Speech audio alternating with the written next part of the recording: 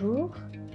Ce matin, je vous propose une lecture dans le livre Avec Dieu chaque jour, écrit par Hélène White.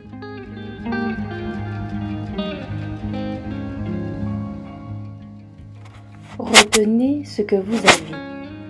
Retiens ce que tu as afin que personne ne prenne ta couronne. Apocalypse 3, verset 11. Il est temps que vous preniez une décision au moment où le sort de chaque personne est fixé pour toujours. Mais rappelez-vous qu'il faudra travailler toute une vie pour recouvrer ce qu'un moment d'abandon à la tentation et un instant de légèreté peuvent faire perdre. Par un acte inconsidéré de votre volonté, vous pouvez vous placer sous la domination de Satan, mais il faut plus qu'un acte passager de cette volonté pour briser les chaînes de l'adversaire et pour parvenir à un niveau de vie plus noble et plus élevé. Vous pouvez former des projets, les réaliser en partie, mais pour aboutir à leur réalisation, il faudra du travail, du temps, de la persévérance, de la patience et des sacrifices.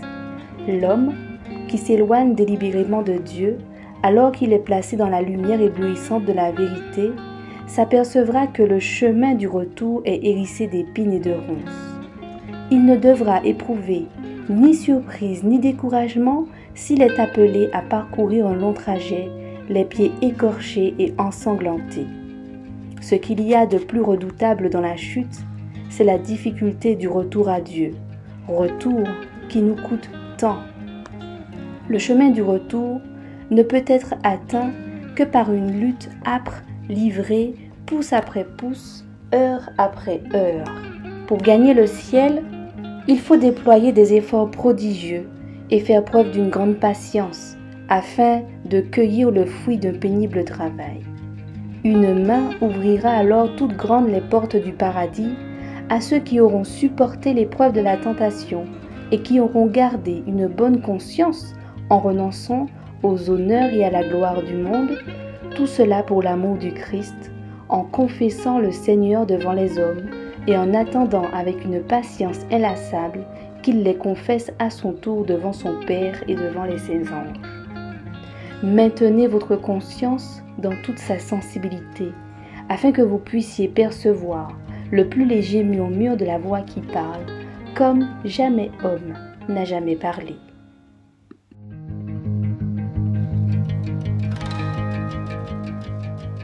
Priez avec moi en ce matin.